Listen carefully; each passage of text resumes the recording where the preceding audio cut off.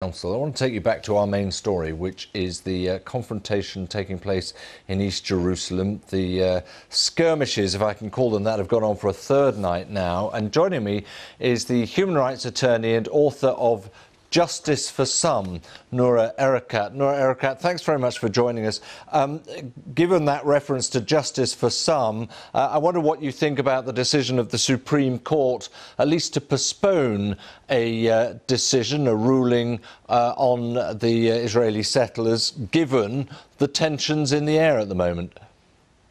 Uh, thank you for having me. I want to start off by emphasizing to the audience that these are not skirmishes. These are armed Israeli settlers who are terrorizing Palestinian neighborhoods, who are protected by the police.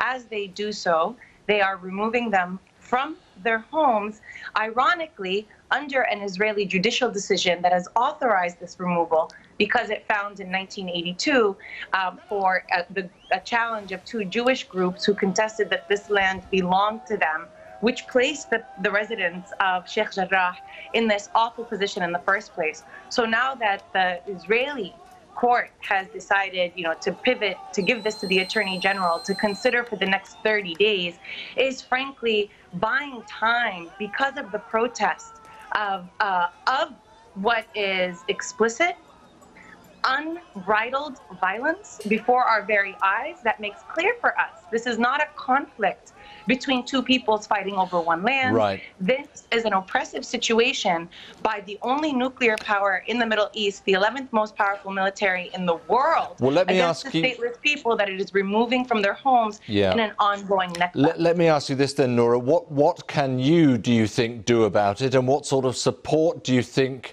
might yet come your way from the likes of a new administration in Washington?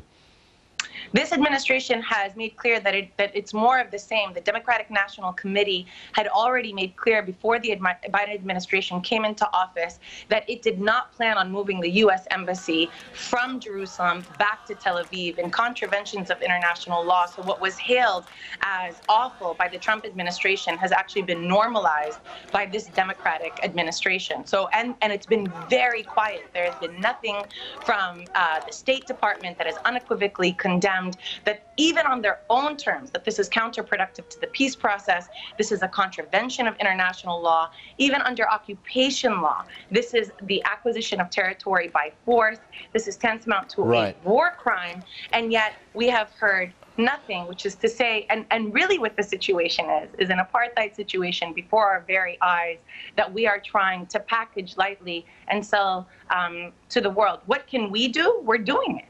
We are trying to protest. Palestinians have been arrested in mass. They have been standing by the, the, the, community in Sheikh Jarrah.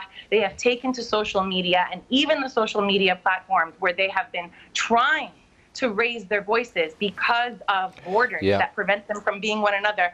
Those social media posts have also been taken down uh, by Facebook, by Instagram, right. by Twitter, further so silencing Palestinians. But yeah. I think it's going to take nothing less than um, nonstop protest against the policy okay. of ongoing ethnic cleansing. We'll expect to see more then. Uh, Noura Erakat, thank you very much indeed.